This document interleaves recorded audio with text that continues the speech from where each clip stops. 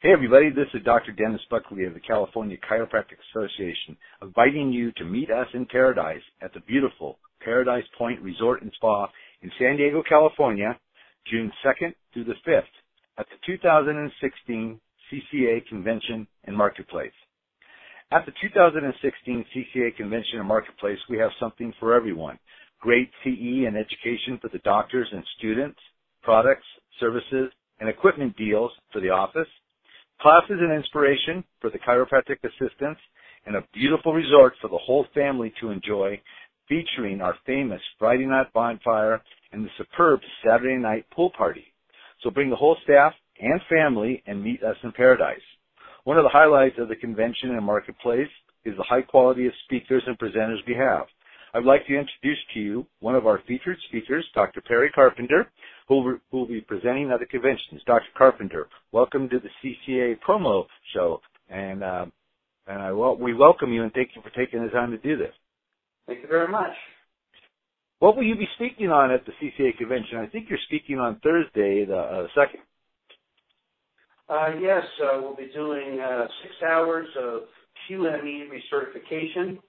I have a brand new program uh, with never before uh, discussed topics, and I personally guarantee that each doctor that attends the seminar will leave 100, 500, and maybe even 1,000% improved in their evaluation and reporting on injured workers and that's very important now because it's so specific in the uh, in that field. You have to be up to date on all the uh, new um, developments. I imagine.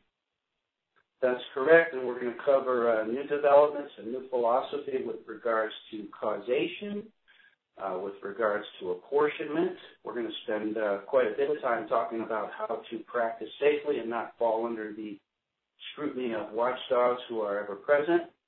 We're going to talk about uh, some important principles that every doctor needs to be aware of, but that few doctors really have an opportunity to uh, be exposed to, and that has to do with uh, malingering and the prevalence of malingering in workers' compensation.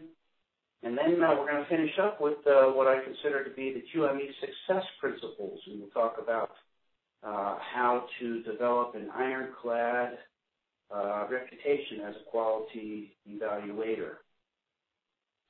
Now, if for someone who is maybe a new graduate who has never ever participated in the work comp arena as a practitioner, would this be an appropriate class to attend, or is this for more advanced practitioners? Uh, this is for the qualified medical evaluator.